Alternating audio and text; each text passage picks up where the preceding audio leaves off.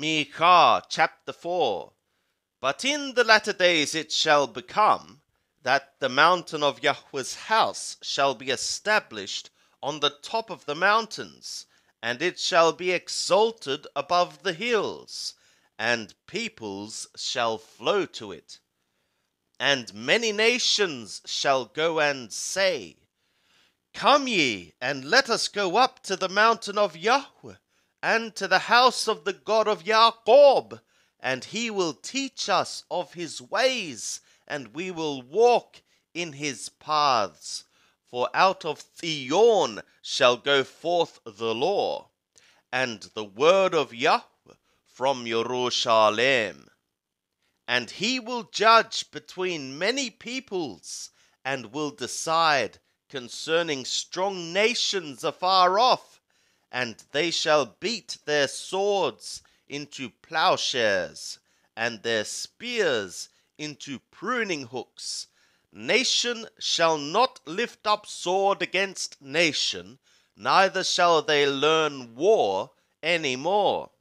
But they shall sit, every man under his vine, and under his fig tree, and none shall make them afraid, for the mouth of Yahweh of hosts hath spoken it.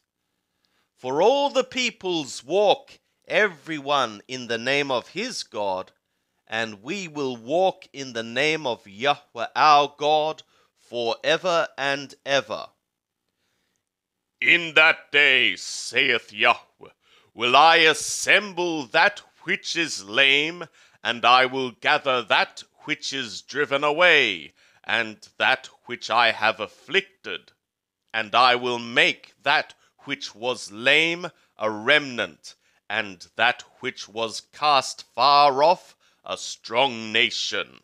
And Yahweh will reign over them in Mount Zion from henceforth even for ever. And thou, O tower of the flock, the hill of the daughter of Zion. To thee shall it come, yea, the former dominion shall come, the kingdom of the daughter of Jerusalem. Now, why dost thou roar a roar? Is there no king in thee? Is thy counselor perished?